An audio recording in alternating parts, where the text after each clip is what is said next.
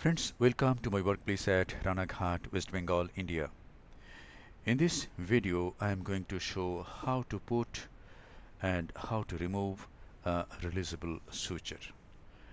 Releasable sutures are used in trabeculectomies and it can be used to repair a cut wound of the conjunctiva. See, this is the radial cut in an SICS surgery on the right end of the peritomy and this is how you apply a releasable suture. Take bites on both sides and now pull the thread and now take MacPherson's in your right hand and a straight suture tying in your left hand and once you have done that hold the thread with the straight suture tying and make three loops. One two three. Three loops on the McPherson's forceps. And pull the thread in this way.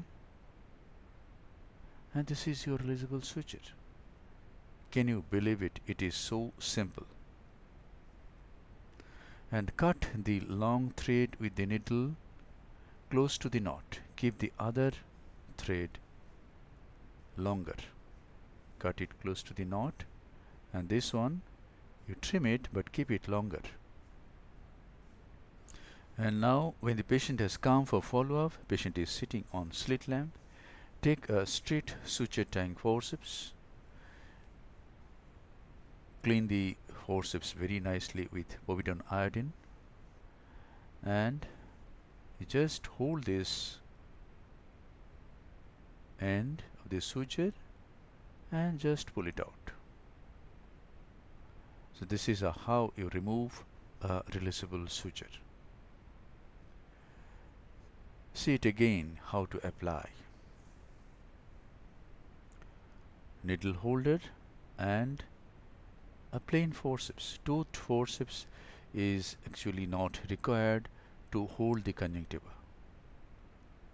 Plain forceps is okay. Plain forceps doesn't cause a laceration of the conjunctiva but toothed forceps may cause. And now pull the thread. Take McPherson's in your right hand? The straight suture tying is there in your left hand?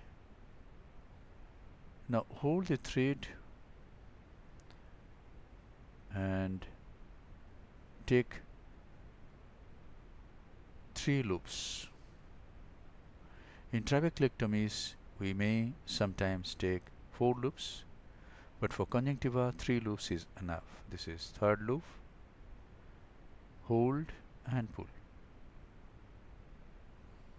and the releasable suture is placed. And see how nicely the conjunctiva is opposed to the limbus. We can remove this releasable suture on fourth post-op day or even after one week. This doesn't give any irritation because this is not on the cornea cornea is more sensitive.